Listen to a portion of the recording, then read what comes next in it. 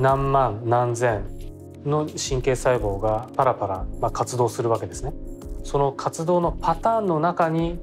知覚の中身だったり意識の中身がこう表現されてるわけです。それはまだ誰一人として読解した人はいないので我々はそれを挑みたいと解明したいと考えてます。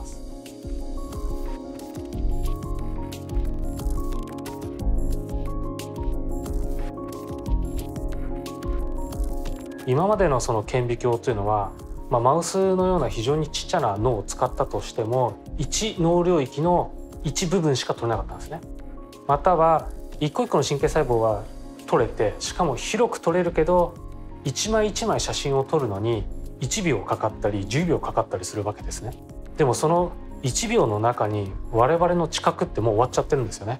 広く取れて早く取れてかつ一個一個の神経細胞の活動が取れるとその3つを、えー、満たすような顕微鏡というのは世界にはなかったんです。ですので我々はですね、まあ、そういったことを可能にする顕微鏡を、まあ、開発しようと、まあ、考えました。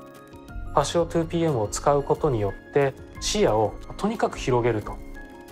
大きさとしてはえ通常は 0.5mm×0.5mm ですけれどそれが 3mm3mm です、まあ、つまり36倍の視野でで速さに関しては1秒あたり7.5枚取れる、まあ、そういった顕微鏡です、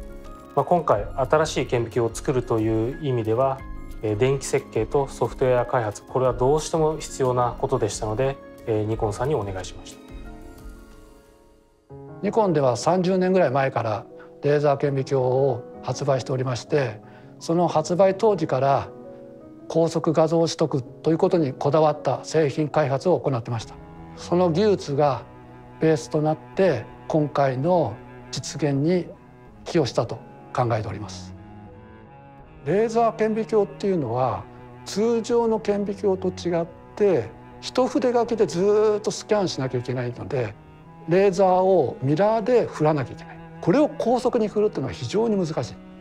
あとデータ量というのはやっぱ動画になると莫大なデータ量になるんですね。そのデータ量をいかに滞りなく渡して処理させる。そういうことが必要なのでソフトウェアの方の効率っていうのも非常に重要になってこのレーザー顕微鏡、まあ、ずっと私開発やっておりましたけどもいつもあの一番大変なのは絵を出すところなんですね。1ピクセルをちゃんと作りながら撮るというところでこれうまくいったらちょっとすごい絵が撮れるだろうなという感触はありました。本当にちゃんとした綺麗な絵が撮れた時はあの本当に、えー、感動しました。さらに広い視野の、えー、絵を高解像で撮れるようなシステムが作ることができれば脳研究に貢献できるのではないかなというふうには思ってます。基本的な食知覚メカニズムを解明することで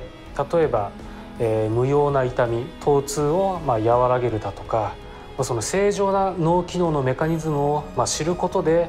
えー、病態の脳状態をまあ改善または回復または予防させることがまあできるんではないかとまあ期待しています。